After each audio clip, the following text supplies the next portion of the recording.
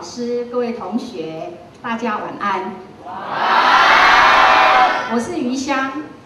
那主办主办单位呢邀请我来参加引言的时候呢，我就说我超不会讲话的，所以呢，我今天特别准备了讲稿，请大家多多包包涵。那今天呢，我来介绍我要致敬的资深广告人，也是大家要致敬的资深广告人李奥贝纳董事长黄丽燕小姐。黄丽燕小姐的英文名字叫做 Margaret，所以我通常都叫她玛格丽特。那我认识的玛格丽特呢，有超过二十年的时间。那在我的眼里呢，Margaret 呢，就是在我们这个行业当中是一位内外兼修的武林高手。所谓内呢，就是她善待员工；所谓外呢，就是她善待客户。那二十多年前呢，我跟 Margaret 在澳美的时候呢，我们是工作上的搭档。他那个当时他负责业务，我负责媒体，所以我可以说我是亲身见证了玛格丽特服务客户的精神。那我只能用两个字来形容，是卷舌的字哈。一个呢就是淋漓尽致，然后另外一个就是无微不至。那广告这个行业是非常辛苦的，所以我也要在这里警告一下二十三届文大毕业的学生，你们真的要有体认，要有心理有准备哦。好，那因为我们会有很多不同的客户，会有形形色色的客户，然后呢，他们常常会会因为需要会提出各种不同的要求。那有些要求呢会让人家两公哈啊，有些要求会让你恨得想去跳墙。来撞墙这样子，那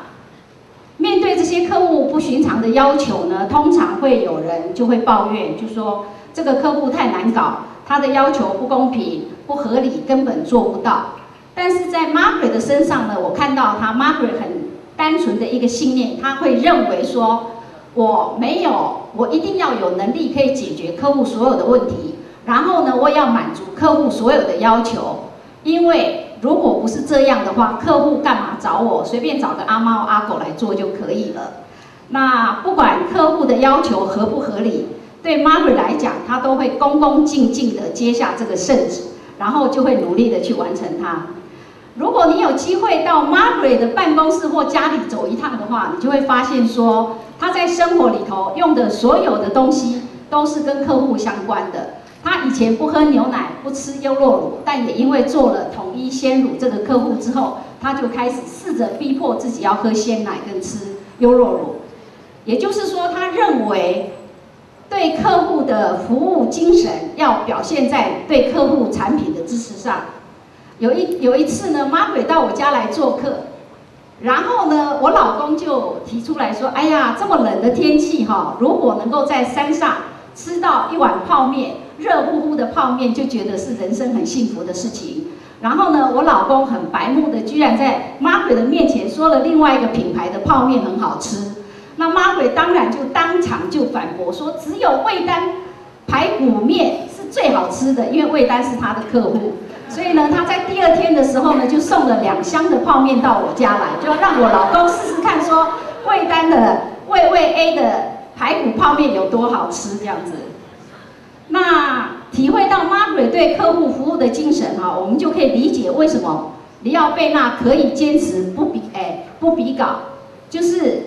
哎 Margaret 有一个信念，就是他绝对不想让他的员工太操劳，所以呢他就坚持不比稿。那可是不比稿，因为广告公司比稿哈，才会有机会有新客户进来。那玛格丽特凭什么说他不比稿就希望有新客户进来？我打个比方好了，就好像人家说韭菜香不怕巷哎巷子深哈，也就是说，在玛格丽特的经营之下呢，他让里奥贝纳这个品牌已经是变成一个非常非常驰名远远近驰名的一个餐厅。那所以呢，他可能应付他主动走进来的客人就已经应接不暇了，哪里还需要到街上去？沿街叫卖这样子，然后到处揽客人这样子，所以呢，在两千零九年之前呢，我在公开或私人的场合，我就会就会就会说哈，我经常会说，如果我是一个广告主，我一定会找里奥贝纳来帮我服务。哎，应该严格的说是在玛格丽特主导下的里奥贝纳来帮我做服务。但是呢，两千零九年之后呢，我改口了，因为我自己买下了联广公司，所以呢就改口了。妈的不好意思哦。